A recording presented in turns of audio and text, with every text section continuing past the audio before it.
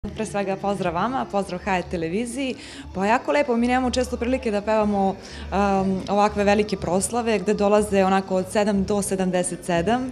To su uglavnom diskoteke gde je omladina, ovde je opet, opet jedna druga um, da kažemo, skup generacija raznih i onako mnogo žena, njihove i muževi, onako porodična jedna topla priča, tako da mi je baš e, puno srce što kažu da je večeras u poslednjih nekoliko godina stvarno onako naj, najposećenije. E, svi gledatelji e, koji su bili u sali su oduševljeni s tobom i tvojim pjesmama i e, iskreno mene su stalno pitali kad će Rada opet doći pjevati, čekaju da se ti popneš na binu. Pa drago mi je.